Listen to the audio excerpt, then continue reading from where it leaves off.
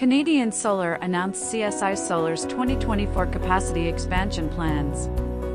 By the end of Q1 2024, we intend to increase our capacity to 50 gigawatts of ingot, 50 gigawatts of wafer, 60 gigawatts of cell, and 75 gigawatts of module capacity respectively.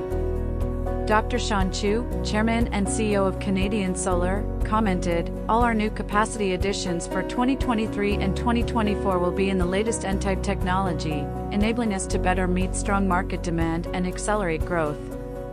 In addition, by improving our control over technology, raw material sources, and costs, these business plans will help us further strengthen our long-term leadership position, not just across our end markets, but also throughout our supply chain positioning.